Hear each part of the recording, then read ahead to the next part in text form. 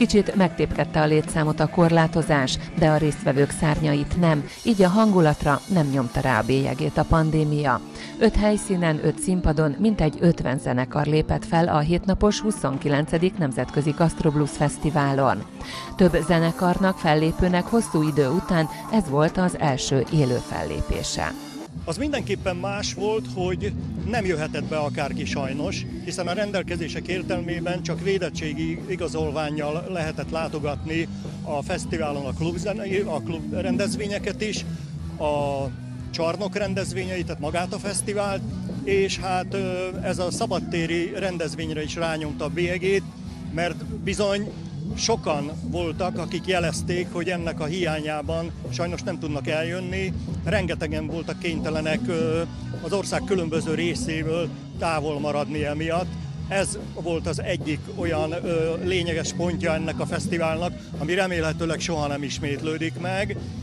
A másik pedig az a nagy bátorság, ahogy, ahogy ezt megszervezte a Gárdai család, és mindenki, aki, aki nekik segített, hiszen talpra állni egy, egy ilyen 2020-as teljes év után, amikor gyakorlatilag ez az egész szakma, a könnyű zenei, a pop, a blues, a jazz szakma padlóra került mondjuk meg őszintén, és számtalan fellépő és zenekar elmondta nekünk a színpad mögött és egy kocintás közepette, hogy bizony-bizony nagyon-nagyon hosszú idő, idő után ez az első élő koncertjük, ahol szemtől szemben találkozhattak közönséggel, és mi pedig a közönség nem csak monitorokat bámulunk, hanem húsvérzenészekkel találkozunk. Lojál együttes egyik gitárosa Igazából ő ezt nem tolja előre, de mi nagyon jól tudjuk, hogy kiről van szó.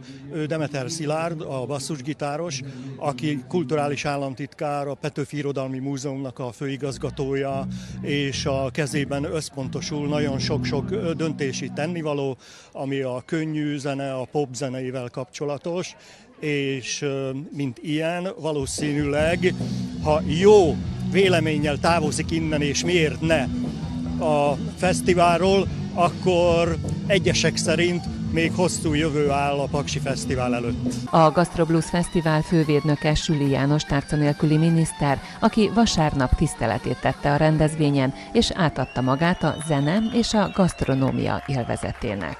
Ugye ez nem csak a zenéről szól, nem csak az ételekről, hanem szól egy kis pálinkáról is, meg borról is.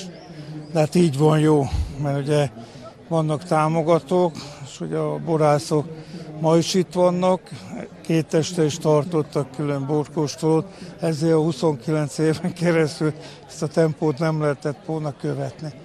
De hát jó érezzük magunkat, ugye most ez az első nagyobb komoly rendezvény Pakson, hogy kiszabadultunk a Covid járvány alól, Egyébként vigyázni kell magunkra, mert ugye halljuk környező országokból jöhet a negyedik variáns, és akkor vagy mutáns. Az volna jó, hogy ezt elfelejthetnénk végleg, és akkor ilyen önfelett ünnepeket, városnapot, október 23-a kapcsán, vagy ugye nekünk is szokott lenni Paks 2-nél, Paks 1-nél évzáró rendezvényeink, azokat is meg tudnánk tartani, hisz elmaradtak.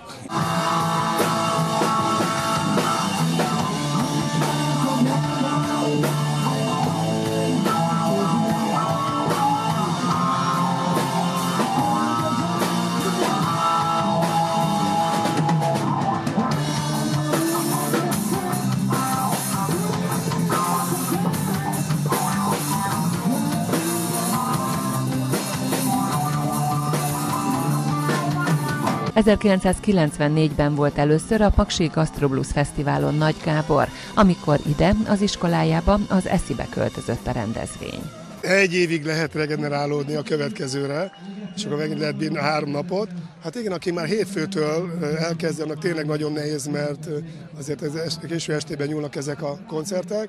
Most én ebben az évben csak pénteken kapcsoltam be iskolai meg egyéb feladatok miatt, de, de azért ütős volt de azért még bírjuk. De nagyon sokféle zenét szeretek, kedvencem a hard rock zene, de a blues is nagyon szeretem, és azért hogy ez a fesztivál, mert nagyon sokféle ízvilág van, tehát van itt jazz, jazz rock, vannak blues zenekarok, rock zenekarok, folk rock, sokféle stílus van, mindenki megtalálja a sajátját, úgyhogy szerintem élvezetes, és a diákokat sem győzöm rávenni. Próbálnak eljönni a hangulati miatt is, és nem is biztos, hogy kell minden zenei stílus szeretni, de legalább megismerni, hogy ilyen is van. Ahogy az már megszokott, jótékonykodásról is szólt a fesztivál. A templomi koncert és a vasárnapi főzőverseny bevételét a kárpátaljai Visk testvérváros magyar nyelvű óvodájának támogatására ajándékozzák a szervezők.